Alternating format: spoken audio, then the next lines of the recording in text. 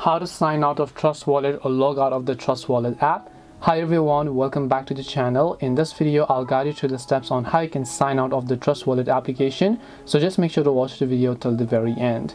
In order to sign out or log out of the Trust Wallet app, all you have to do is simply go ahead and then first of all, just make sure to actually launch the Trust Wallet application here. And then you can currently see that I'm basically logged into my account. So what do I do if I want to log out of my Trust Wallet application or my account? Well, to log out, first of all, just tap the settings icon from the bottom right hand side of the screen. Then at the very top of the page, you'll be able to find an option where it says wallets. You want to make sure to tap on the wallets option.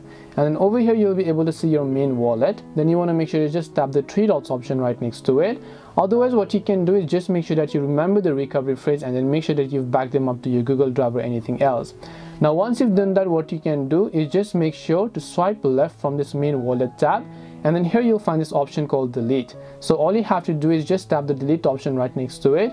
Tap on the proceed anyway option tap on delete and then your wallet will be successfully logged out of and then you'll be logged out of the trust wallet application here. This way you can log out of the trust wallet app. Hope this video was very helpful to you guys.